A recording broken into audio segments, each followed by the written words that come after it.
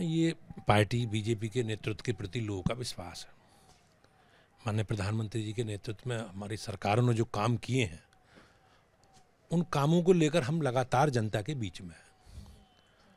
और जो जो काम नगर निकाय क्षेत्र में है या और उत्तर प्रदेश की सरकार ने जो बिजली, पानी, सड़क, शिक्षा, स्वास्थ्य, सुरक्षा सारे विषयों पर काम किया उसी का परिणाम है ये कि उत्तर प्रदेश नगर निकाय चुनाव में भाजपा को, उत्तर प्रदेश की महान जनता ने इतना बड़ा जनादेश देकर हम लोगों को एक विकास की जो हमारा एजेंडा है उस पर मोहर लगाई। बात की जाए अखिलेश यादव की तो उन्होंने तमाम आ, मेट्रो में भी चले साइकिल भी चलाई लोगों से संवाद भी करा लेकिन सपा जनता के बीच वो विश्वास नहीं जगा पाई। क्या वजह मान रहे हैं? नहीं आपने देखा होगा अखिलेश जी सहारनपुर और मेरठ में उन्होंने दो जगह रोड शो एक आध जगह उन्होंने मेट्रो में यात्रा करी। तो निश्चित रूप से जनता सब जानती है। और समाजवादी पार्टी के नेता, समाजवादी पार्टी का कैडर और बहुजन समाज पार्टी का या विपक्ष के सारे लोग, ये लोग केवल चुनाव में अपनी गतिविधि बढ़ाते हैं। और चुनाव में अलग अलग प्रकार की बातें करके लोगों को भ्रमित करने का काम करते हैं। और जनता सब जानती है, भारतीय जनता पार्टी के कार्यकर्ताओं की, हमारे नेतृत्व के, जो हमारा डेवलपमेंट का एजेंडा है, विकास का एजेंडा है, सुरक्षा का एजेंडा है सुशासन का एजेंडा है, उसे लेकर भाजपा के लोग लगातार जनता के बीच में। और निश्चित रूप से संगठन के स्तर पर भी पार्टी ने बड़े स्तर पर तैयारी के साथ हम लोग चुनाव में गए हैं।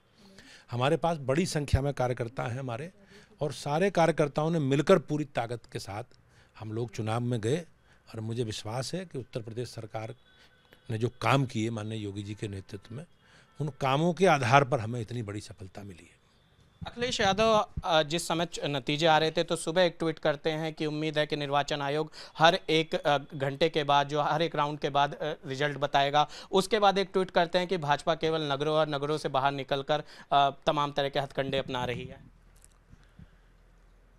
नहीं, अब इस तरह का व्यवहार राजनीतिक क्षेत्र में अखिलेश जी जैसे बड़ी पार्टी के नेता को इस तरह का व्यवहार नहीं करना चाहिए। ये जनादेश का अपमान है। लोकतंत्र में जनता का निर्णय अंतिम है और हमें जनता का आदेश, निर्णय का सम्मान करके हमें अपनी अगली बात तैयारी करनी चाहिए। अब ये लोग परंपरा इन्होंने बना ली। जब हारेंगे इलेक्शन कमीशन को, दोष देंगे, संवैधानिक संस्थाओं पर प्रश्न खड़े करेंगे ईवीएम पर प्रश्न खड़े करेंगे। अब ईवीएम में मान लो नगर निगम में बीजेपी जीती है, लेकिन बीजेपी बड़ी संख्या में नगर पालिकाओं में भी जीती है। बीजेपी बड़ी संख्या में नगर पंचायतों में भी जीती है, वहाँ तो बैलेट पेपर से चुनाव हुए हैं। तो अपनी जिम्मेवारी से भागना नहीं चाहिए। और ये लोग कभी भी जनता की को फेस करने की स्थिति में नहीं है। क्यों? कि ये लोग ऐसी कमरों में बैठ के राजनीति करते हैं, जनता से इनका कोई संपर्क, संवाद है नहीं। और मैं उत्तर प्रदेश की जनता, मुझे विश्वास है कि इन सारे विषयों पर ठीक से समझती है।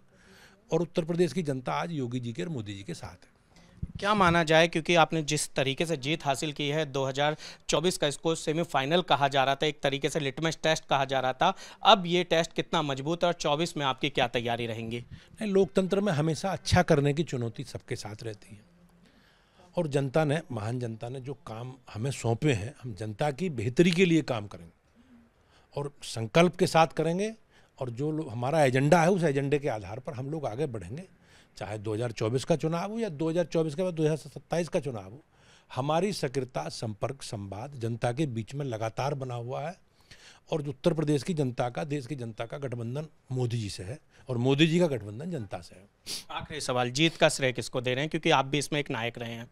नहीं निश्चित रूप से जीत में प्रदेश की महान साढ़े चार करोड़ लोग मतदाताओं को सबसे ज़्यादा श्रेय जाता है और भारतीय जनता पार्टी के असंख्य कार्यकर्ताओं ने जो हमारी सरकार के काम थे, मोदी जी के और योगी जी के जो काम थे, उन कामों को लेकर जनता के बीच में लगातार हमने उन्हें बताने का काम किया, उन विषयों को रखने का काम किया और उसी का परिणाम है कि इतनी बड़ी सफलता मिली। शुक्रिया हमसे बातचीत करने के लिए। ये थे हमारे साथ बीजेपी के प्रदेश अध्यक्ष Bhupendra Chaudhary ji. Video journalist Sanjay one के साथ निशांत राय, न्यूज़ स्टेट, दिल्ली।